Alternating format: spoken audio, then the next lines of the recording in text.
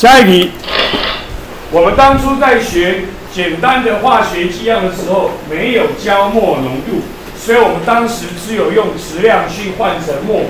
后来我们有学墨浓度了，所以有题目是要用我用墨浓度去求墨。他说有两大案的硫酸一百五十毫升，然后跟主要的硝酸钠作用，请问产生硝酸多少公克？那么一样，第一步写出方程式并且平衡，不用写，这样写给你们。第二步，已知跟所求换成墨，有个已知是两大一百五十毫升，怎么样换墨？墨浓度乘以溶液体积，体积用公升做单位。第二个所求，求的是质量，质量怎么换墨？质量要除以原质量或分子量，所以我们就去换。第一个是要用墨浓度乘以溶液的升数，那一百五十毫升是零点一五公升，乘以乘，算出来是零点三墨。第二个是我们要知道那个质量不知道多少公克，要换那个要去除以原子量或分子量，所以要算分子量。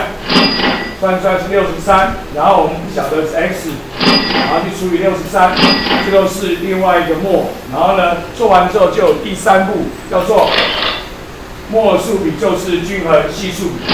所以刚才算出来墨就是我的均衡系数，我的硫酸系数是一，硝酸系数是二，所以是一比二，来一比二，然后就是数学。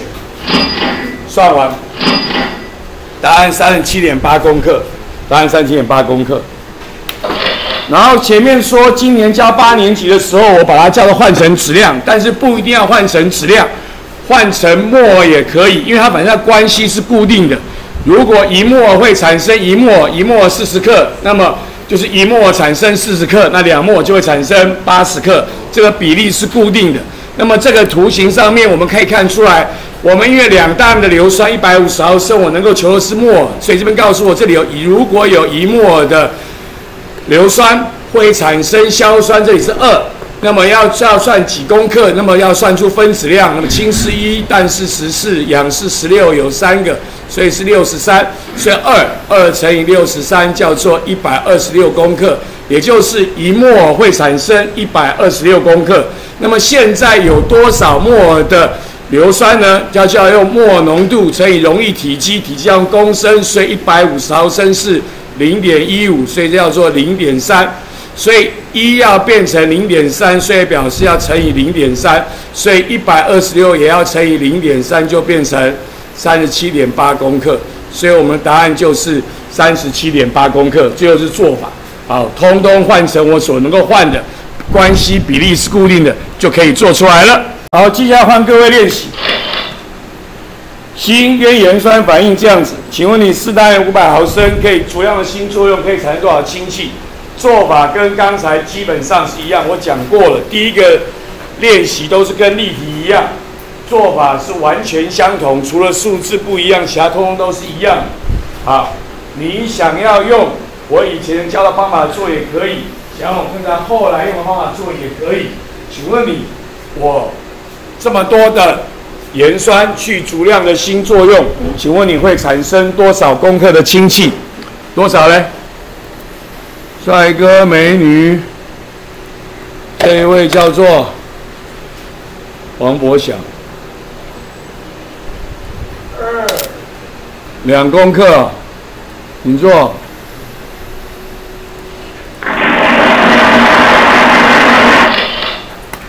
第一，写方程式并且平衡不用做，人家给我了。第二步，已知跟所求换我，弄成墨数，有浓度要去乘以体积公升换墨，要求质量，质量要除以原子量或分子量，所以就是第一个墨浓度乘以溶液体积，五百毫升是零点五公升去乘，所以算出来是两墨。然后另外一个是要质量除以原子量或分子量，那氢气的分子量应该就是二。所以就上车 x 不知道，所以除以二就是它的墨。然后第三步就是所谓的墨数比，就是均衡系数比，所以把它往里面带。那么盐酸的系数是二，氢气的系数是一，所以是二比一。所以数学做出来就是两公克。如果刚才用刚才的方法做也是一样的，这个这个盐酸这里是代表它是两墨。会产生氢气，氢的分子量是二，它是一个二，所以它就是两公克，所以两摩就会产生两公克。现在有四大案五百毫升，毫升换公升是零点五公升，所以四乘以零点五就是二，哇，就正好都是二嘛，二跟二是吧？这个乘一就好了，所以两公克也是乘一，所以就是两公克，所以答案就是两公克，就知道了。OK，这就是我们来做的简单的化学计量来求的方式。下一题就是一样，啊，只是现在变成要求反应物的需要量，刚才是求产物的产量，现在求反应物的需要，但是做法想法是一样，就是未知数的位置不一样。我想要得到四点四公克的二氧化碳，需要用两大安的盐酸多少毫升，我才能够得到嘞？请问你要多少呢？做法是跟刚才完全相同的，除了未知数的位置不一样之外，其他都是一样的，其他都是一样的。好，那请问你，它应该是多少呢？它应该是多少？有可爱小女生吗？是男生。男生，男生，男生，女生五啊，李一飞，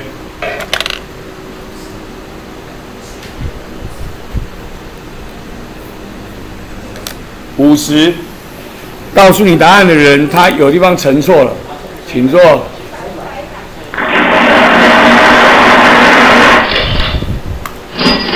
解出方程式，并且平衡不用做，已经写给我了。已知跟所求换成摩尔，有一个是已知的是功克，换摩尔要除以原子量或分子量。所求的是浓度的体积，要摩浓度乘以溶液体积，体积要用公升做单位。